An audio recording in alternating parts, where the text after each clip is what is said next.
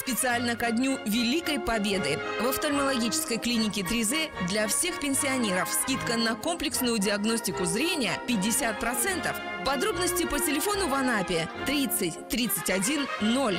Улица Крымская, 242. Офтальмологический центр 3Z.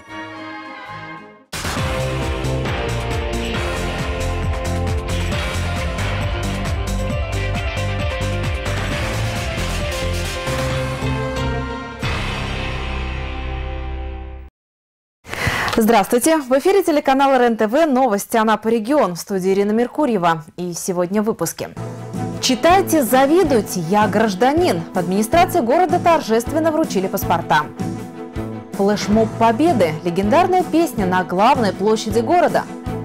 В микрорайоне Алексеевском открыт новый мемориал.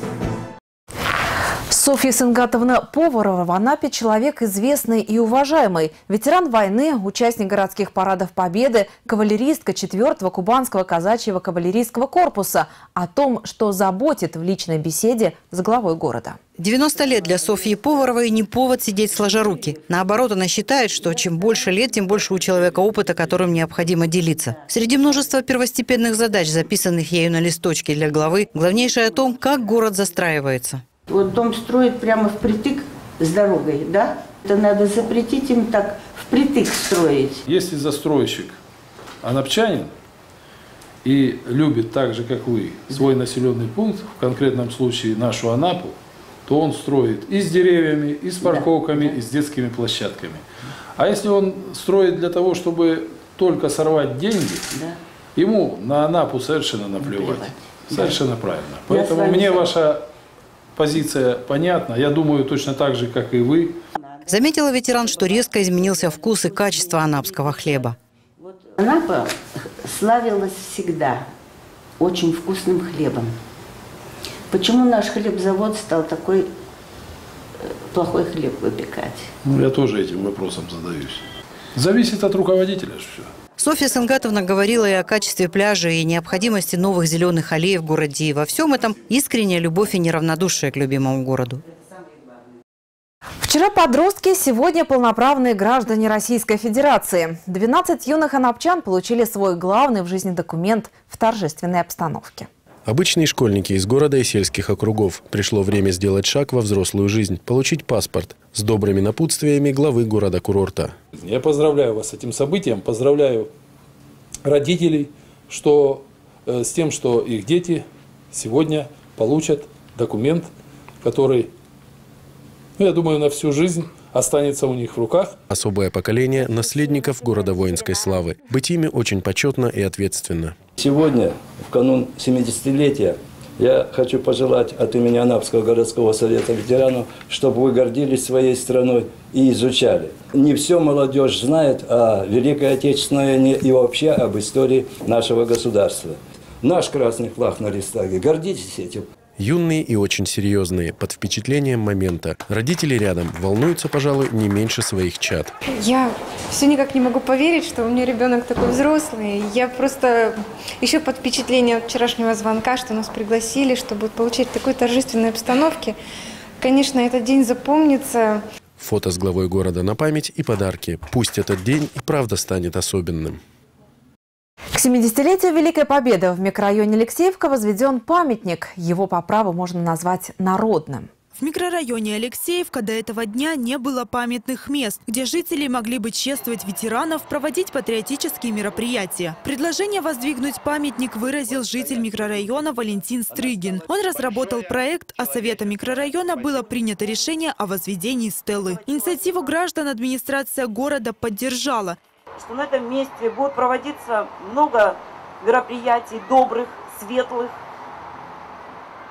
Здесь мы будем воспитывать наше молодое поколение. Этот монумент станет и доброй памятью о председателе Совета микрорайона Людмиле Лазебник. Всего несколько дней она не дожила до этого события. Приближала его всеми возможными способами. Подножию памятника возложили венки. В торжественной церемонии, посвященной 70-летию, приняли участие ветераны, городские власти и школьники. На встрече поколений о войне с достоинством и благодарностью. Для мальчишек и девчонок слово «победа» далекое и незнакомое. Они не слышали орудийных залпов. Сидят притихшие и пытаются представить себе войну. А рядом те, кто хорошо помнит, как добывалась победа.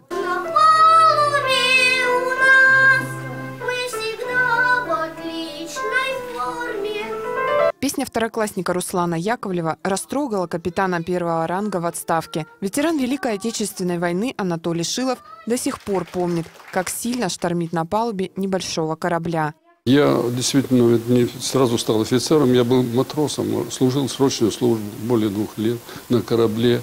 И там на корабле как-то себя по-другому ощущаешь. Ребята волновались, но все свои поздравления делали от души. Затаив дыхание, слушали выступления ветеранов. Мне там было, допустим, там 8-10 лет, там передо мной бы выступали, конечно, я бы запомнил, безусловно запомнил.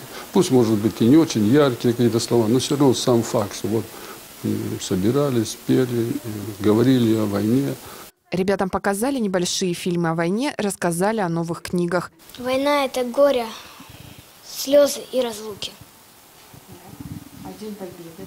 День Победы – это когда хочет, хочется плакать, но хочется не хочется смеяться, потому что наши, наши, наши люди победили. В конце встречи все поколения, герои войны, дети, их родители, молодежь вместе исполнили главную песню Победы. Три дня осталось до празднования 70-летия Великой Победы. Павел Тихонович Кухоль рассказал, как для него началась Великая Отечественная.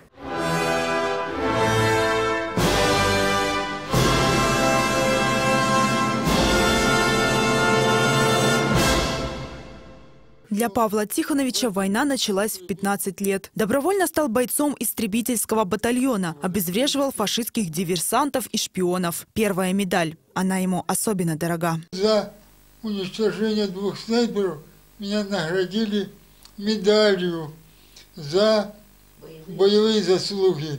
Я был неопытный, но так получилось, что мне повезло в жизни, что я их убил, а не они. Поэтому она для меня самая дорогая. Самый памятный эпизод – это первая встреча с врагом. Выполняя боевую задачу по охране моста через реку Кубань, встретились лицом к лицу с фашистами, пытавшимися подорвать мост. Я сказал ребятам, лежите и не принимайте никаких мер. А сам приблизился к ним, к камышам, и крикнул – сдавайтесь, вы окружены. И все ребята, которые были там, начали стрелять. За годы войны награжден медалью за боевые заслуги, за победу над Германией, почетным гражданским орденом «Серебряный крест». День Победы встретил в Польше. Это было утром. Моросил дождик, собирались на завтрак. И один из солдат, по-видимому, связист, крикнул «Победа!». Все скочили, начали стрелять вверх, кричать «Победа!», стали целоваться, обниматься.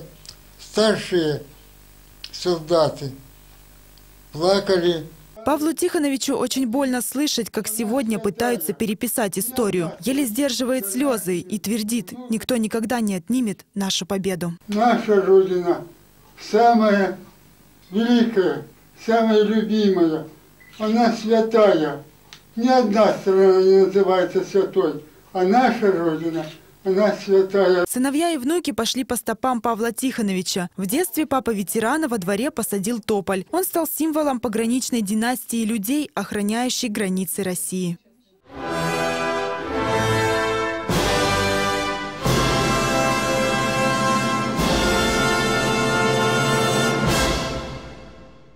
Повысить интерес школьников к спорту собственным примером. Олимпийские чемпионы в Анапе говорят с детьми о спортивном характере и умении побеждать. Этих именитых спортсменов до сегодняшнего дня школьники видели только по телевизору. И вот они сидят напротив, рассказывают о своих победах и поражениях, о травмах и силе воли. Легендарные имена и фамилии Александр Краснов, Людмила Муравьева, Александр Уланов, Нина Смолеева, Лариса Беркова и другие. На все вопросы ребят звезды отечественного спорта отвечали максимально искренне. Спортсмены спросили у ребят, кто занимается спортом. Встали почти все. Анапа город уникальный. Развитию детского и массового спорта здесь, как и во всем Краснодаре, Краснодарском крае уделяется много внимания. Строятся спортивные сооружения, проводятся соревнования разных уровней. 92% школьников занимаются в спортивных секциях и специализированных школах. Ребята берут пример со взрослых. Я видела этих людей и знаю, то, что они очень много сделали. Посмотрела, насколько же они сильны, насколько сильна наша Россия, насколько она продвинулась в спорте и насколько это все громадно и серьезно. Чемпионы школы получили награды за свои недавние победы из рук знаменитых спортсменов.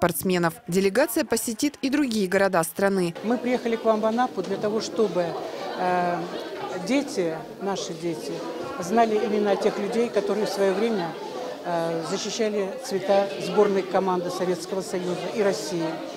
И хотим, чтобы прежде всего они видели, что мы э, остаемся после занятий спортом людьми, которые делают очень много для того, чтобы наш, наши э, дети были здоровыми, крепкими, чтобы они были патриотами своей Родины, чтобы они любили занятия спортом и были здоровыми физически, морально подготовленные к любым неожиданностям жизни. Самая долгожданная часть встречи – возможность получить автограф любимого спортсмена и сделать фотографию на память.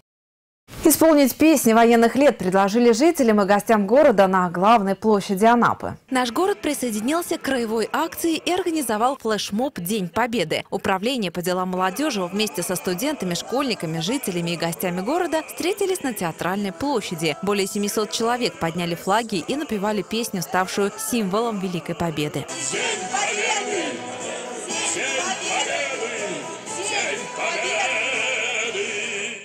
Самое важное то, что наши ветераны одержали победу. Они сделали многое для нас, наше мирное небо над головой, и мы им за это очень благодарны. История не учит, но наказывает за э, неусвоенные уроки. Так вот, э, эти уроки, их уже прошли наши деды, наши отцы, и мы должны знать о них, помнить, и чтобы не совершать такие же ошибки в будущем. Школьники Анапы – люди активные и инициативные. Они сумели объединить две темы – День Победы и безопасность на дорогах в одной акции. Два с половиной часа своего свободного времени каждый день на репетиции. Старшеклассники средней школы номер 7 приняли участие в краевой акции госавтоинспекции «Будь ярче, засветись». Но подошли к ней творчески. Подготовили танцевальный флешмоб. Первая часть – дань уважения ветеранам Великой Отечественной войны, которых они помнят и гордятся их подвигами. Мы хотели показать э, все краски того времени и последним номером, последней песни, заключающей, называется песня «У неба есть мы». Мы хотели показать то, что мы наше будущее, будущее нашей страны. Вторая часть флешмоба – современная жизнь, будущее, где нужно беречь свою и чужую жизнь и быть внимательным на проезжей части. Своим танцем школьники старались привлечь внимание взрослых. Быть внимательнее, особенно перед э, школами, детсадами, чтобы они были на чеку. Школьники с интересом участвуют в подобных акциях. Необычно, ярко и есть возможность сказать миру свое слово. Цель данного мероприятия – приучить э, не только наших пешеходов, но и водителей к тому, что они более внимательно относились к детям, особенно в районах э, среднеобразовательных учреждений, детских садах. В рамках акции масштабные флешмобы пройдут и в других учебных заведениях Анапы. В Анапе проходит первенство города-курорта по плаванию. За первые места соревнуются более 100 юных пловцов. В традиционных зачетных соревнованиях по плаванию перед летними каникулами принимают участие воспитанники спортивной школы «Виктория», младшие и старшие возрастной группы. Первая дистанция – 800 метров вольным стилем. Сложно сохранять один и тот же темп то, что хочешь быстро плыть, но при этом ты устаешь и не можешь э, плыть эти 800 метров так же быстро, как и 100 метров. Становится тяжело, когда уже проплывешь э, 6 кругов, 7, тогда уже становится тяжело. А под конец уже как? Прибавляются новые силы, и надо плыть все быстрее и быстрее. Следующую дистанцию 200 метров комплексного плавания спортсмены будут плыть 16 мая. По результатам двух заплывов сформируются группы на следующий этап обучения. Каждый год первенство наглядно показывает подготовку анапских пловцов. Есть призовые места на уровне э, Краснодарского края, есть победители чемпионата Краснодарского края, есть ребята, которые входят в состав сборной команды Краснодарского края. Это на данный момент 7 человек города. Вот, то есть результаты улучшаются, результаты растут. Победителей и призеров на всех дистанциях наградят грамотами. Завершит выпуск прогноз погоды.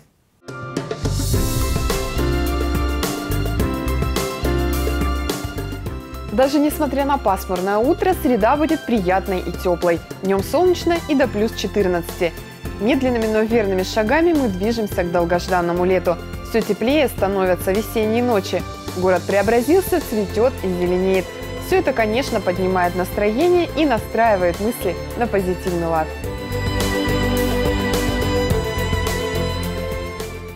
Генеральный партнер программы – клиника 3Z. Эти и другие новости вы можете найти на нашем сайте. А я с вами прощаюсь. До новых встреч. Специально ко дню Великой Победы в офтальмологической клинике 3Z для всех пенсионеров скидка на комплексную диагностику зрения 50%. Подробности по телефону в Анапе 30 31 0, улица Крымская, 242, офтальмологический центр 3Z.